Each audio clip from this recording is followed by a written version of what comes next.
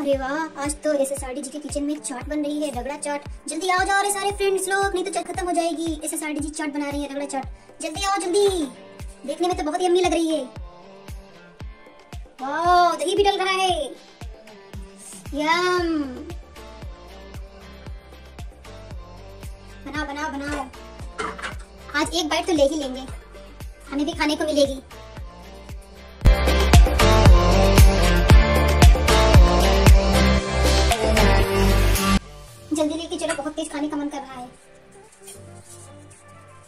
वाह गोलगप्पा भी है ओ इसके ऊपर पापड़ी भी पड़ गई गोलगप्पे की। ओहो गजब।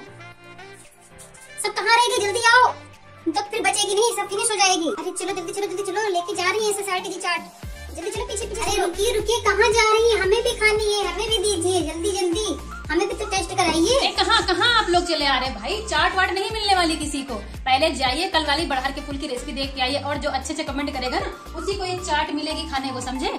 ये देखिए, पहले एक काम फिनिश करके आइए और वो वाली रेसिपी देख के आइए, फिर चाट चाट को खिलाएँगे। अगर अभी मैंने आपको चाट टेस्ट भी करा दी ना तो आप लोग कहीं नहीं हटके जाने, यहीं बैठ जाएँगे बोलेंगे चाट पहले खिला दो। ठीक है तो पहले एक रेसिपी देख के आइए, फिर चाट खिला खाने को मिलेगी।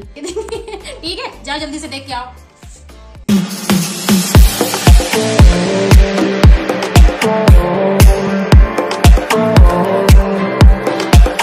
बढ़ा के फूल हमने काट के तैयार कर लिए तो इस तरीके से छोटे छोटे पीसेस में कट किया है। ज़्यादा बड़ा बड़ा नहीं काटा है और ये थोड़े से बड़े बड़े से प्याज कट कर लिए हैं।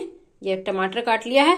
लहसुन भी बारीक करके रखा ये देखिए, इस तरीके से लहसुन लहसुन को ना बारीक बारीक काट कट कर लिया है। तो बस लहसुन को बारीक कर लिया है, प्याज को ऐसे काट लिया बड़ा बड़ा सा। ये बढ़ार के फूल भी काट लिए हैं और ये दो टमाटर लिए तो उनको भी काटे। चलिए बनाना शुरू करते हैं और इसमें हल्के फुल्के मसाले डालेंगे जैसे हल्दी मिर्च धनिया। ज़्यादा कुछ मसाले नहीं डालेंगे। तो चलिए बना, बनाते हैं दिखाते हैं आपको ठीक है? और ये जो बढ़ार के फूल होते हैं ना पहले गाँव में मतलब बनते थे बहुत ज़्यादा। ये पेट के लिए बहुत अच्छे होते हैं क्योंकि इसकी तासीर बोलते हैं मतलब दादी लोग बोलती थी कि ठंडी होती है तो पेट के लिए बहुत अच्छे होते हैं।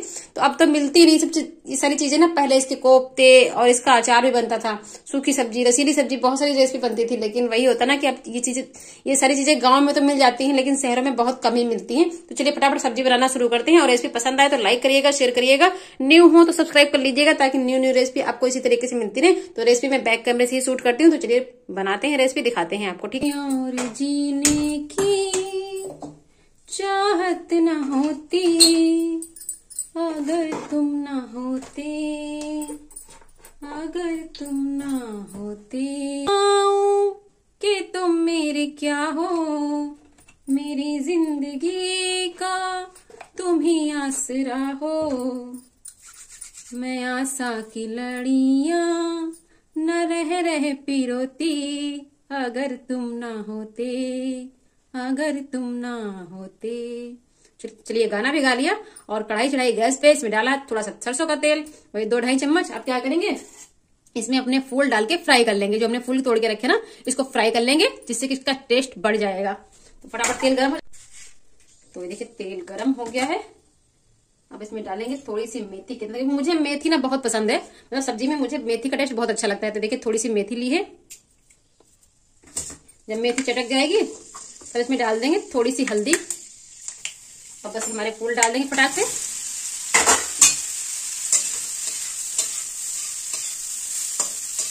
और इसको दो से तीन मिनट के लिए मीडियम लो आँच पे फ्राई कर लेंगे। मतलब भून लेंगे हल्के से।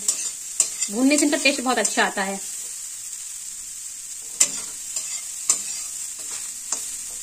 तो भूनने का तरीका मेरा वही है, ढकने, ढक के भूनेंगे। तो देखिए, ढक दिया, इसको ढक के भून लेंगे अच्छे से।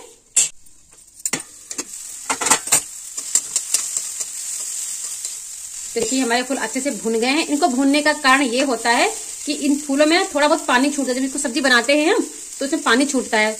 अब क्या होगा? अब पानी नहीं छूटेगा और सब्ज़ी हमारी एकदम से बढ़िया खिली खिली बनेगी। तो चलिए बनाना शुरू करते हैं फटाफट। क्योंकि अगर बनाते समय इसमें पानी छूटता है ना तो थोड़ा सा टेस्ट अलग हो जाता है। अब भूनने के बाद इसका टेस्ट अच्छा होगा और मतलब पानी भी नहीं छोड़ेगा। तो ऐसा कुछ रहता है। तो इसीलिए मैंने इनको भून लिया है। फिर इनको पलट लेते हैं। अब डालेंगे थोड़ा सा सरसों का तेल फिर से डालेंगे।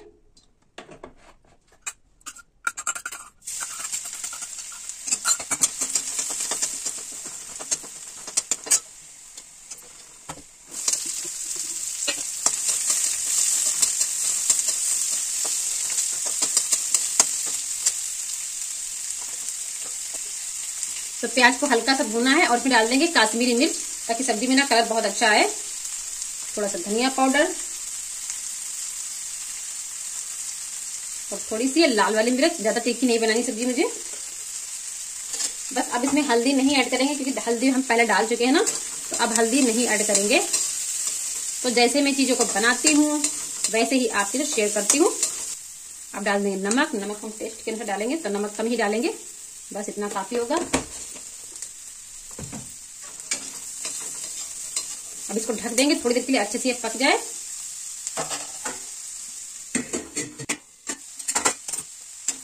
तो देखिए प्याज हमारा हल्का सा मुलायम हो गया है। आप डाल देंगे थोड़ा सा भुने जीरे का पाउडर और इसमें डाल देंगे टमाटर जो हमने काट के रखे थे, टमाटर ऐड करेंगे। इन टमाटरों को अच्छे से मिक्स कर देंगे मसाले में। तो मैंने भुने जीरे का पाउडर बाद में डाला है। आप इन सब चीज़ों का ध्यान रखेंगे तो सब्ज़ी आपकी बहुत टेस्टी बनेगी।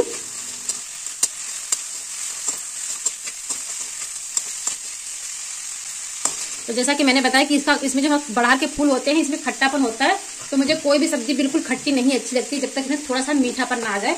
तो इसमें क्या करेंगे, एक चम्मच डाल देंगे चीनी। ये देखिए, बस एक चम्मच, ताकि जो इसका खट्टापन है, और हमें टमाटर भी डाले ना, वो भी टमाटर भी खट्टे होते हैं आजकल, देसी टमाटर थे। तो मैंने इसको बैलेंस करने के लिए इसमें चीनी डाली है, एक चम्मच। और एक सब्ज़ी हमारी बहुत टेस्टी बनकर रेडी होगी। तो बाकी दूसरे लोग कैसे बनाते हैं, मुझे नहीं पता, बस जैसे मैं बनाती हूँ चीज़ों को, बस वही आपसे शेयर करती हूँ। और आप लोग कैसे बनाते हैं बढ़ार के फूल, यानी बढ़ार की सब्ज़ी तो मुझे कमेंट करके ज़रूर बताइएगा। और किसको किसको पसंद है सब्ज़ी, ये भी बताइएगा, ठीक है?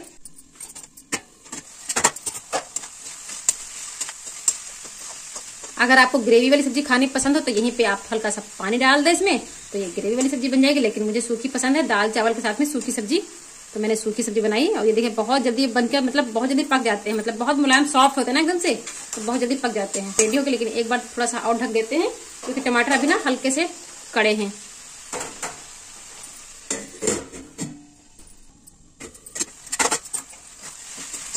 और देखिए सब्ज़ी मेरी बनकर रेडी हो गई है। और इसमें बिल्कुल भी बिल्कुल भी पानी नहीं छूटा। अगर मैं इसको भूनती नहीं, अगर मैं इसको बिना भूने बनाते ना तो इसमें पानी छूट जाता और फिर सब्ज़ी का टेस्ट थोड़ा सा बिगड़ जाता। मुझे नहीं अच्छा लगता वो टेस्ट लेकिन मुझे भून के अच्छा लगता तो मैंने भून के ही बनाया, देखे। सब्ज़ी मेरी कितनी बढ़िया खिली खिली बनी है अलग अलग एक एक तो पलट लेते हैं, अलग बर्तन में।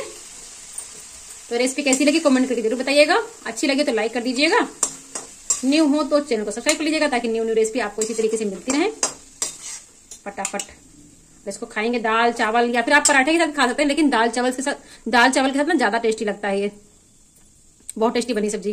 देखिए, सब्ज़ी हमारी देखने में कुछ ऐसी लग रही है। लग रही ना एकदम टेस्टी बताना। कैसा लुक आ रहा सब्ज़ी का? देखने में टेस्टी लग रही है। और खाने में भी टेस्टी ऐसा नहीं कि सिर्फ़ देखने में टेस्टी लग रही, खाने में भी टेस्टी लगती है। तो आप लोग एक बार ज़रूर ट्राई करना। मेरे तरीके से बनाना, लेकिन